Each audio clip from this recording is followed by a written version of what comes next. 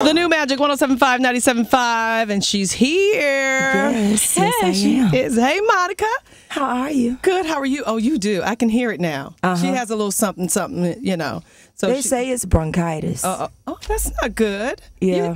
Uh uh Well- that's, that's not good. Shout out to Dr. K. He gonna fix it up. I call him Dr. K because his name is about this long. Right. And Kate. It's is got about enough. twelve syllables, but he hooks it up. I, I think. I think Usher somebody sent me to him for the first time. Okay. but he's incredible. So that's- what he gives you may hurt. Okay, but it, it's going to be all right. We're going to love him. We're going to love him for it too. Uh, yes, we're gonna love him, especially when it's time for these shows this I know. weekend. She's busy. She's busy, busy. So the show is um her show tonight. Yes. Let's see. Um, this is like the semi-finale because the finale's next week. So we're gonna tell you about that. But tell me about this song I'm about to play. Everything to me. everything to me, you know, what's so incredible about this particular situation is that they let the fans pick the single.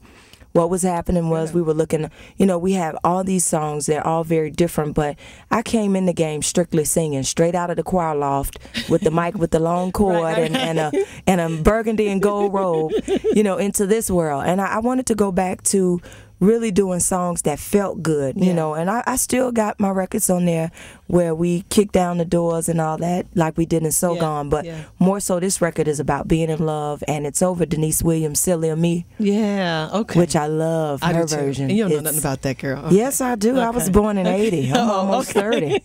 All I know that song. You know that one. Here's Monica now with everything to me on the new Yes. Magic 1075 975. Boy,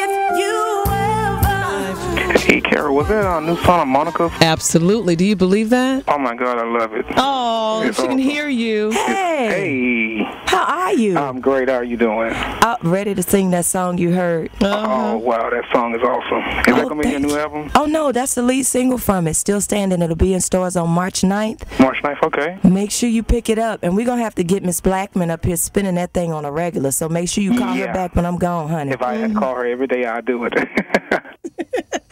All right, so you're on assignment and he's on assignment. Okay, Yes, Monica. All right, yes. but it's just beautiful. Everything to me. What made you put that song over "Silly"? The music "Silly."